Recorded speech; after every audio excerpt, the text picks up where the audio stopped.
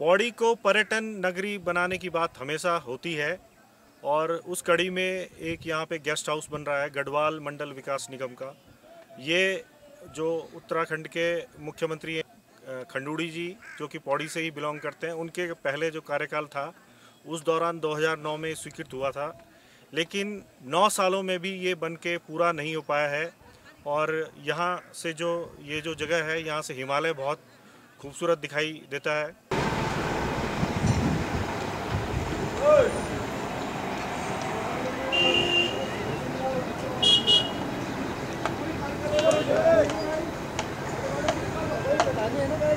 और मेरी दाई तरफ़ जो आप पीछे जंगल देख रहे हैं, वहाँ पे रांसी स्टेडियम मौजूद है।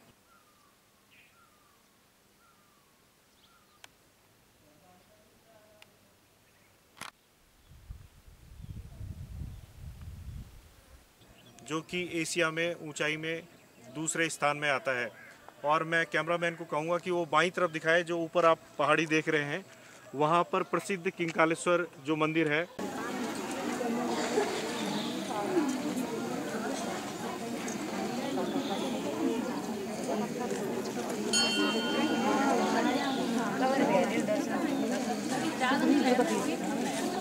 भी स्थित है।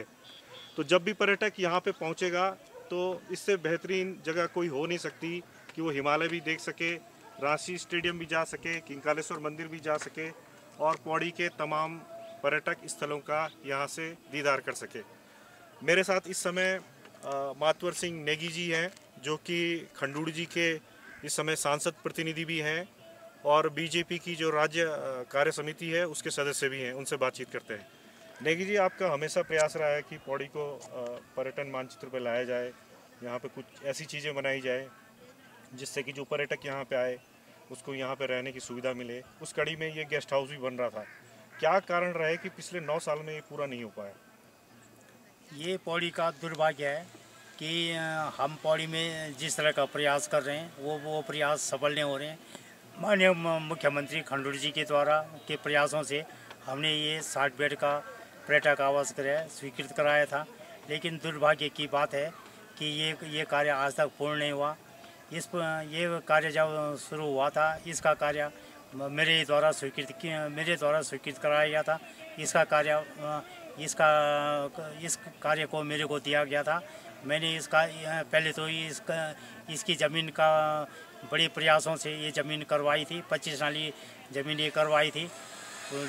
और उसके बाद ये ये स्वीकृत हुआ था और ये काम चल रहा था।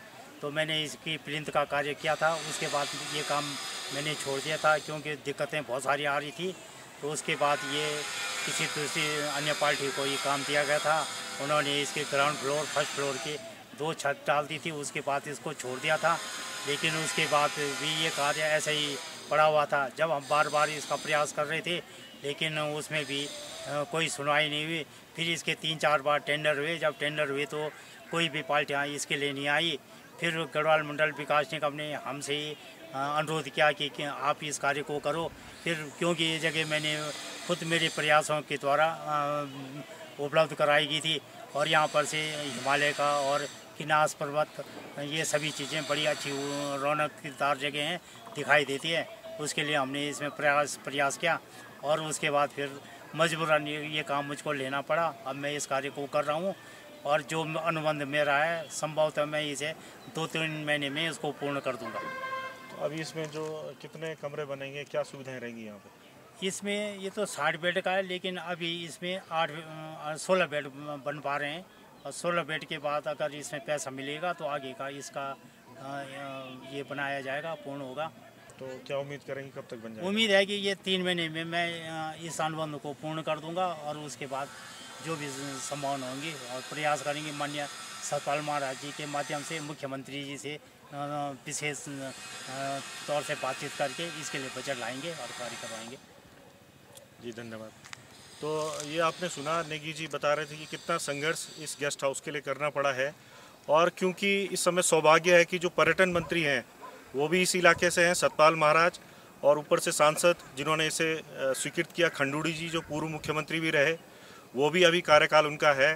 तो उम्मीद करेंगे कि अगले तीन महीने में ये गेस्ट हाउस यहाँ पर बन तैयार हो जाएगा।